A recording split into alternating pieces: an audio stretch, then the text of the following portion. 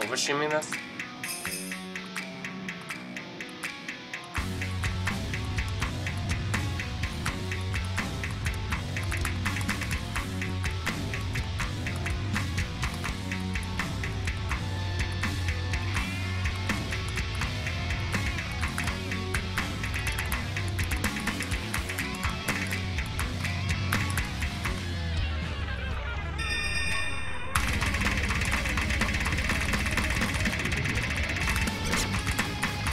I was overshimming.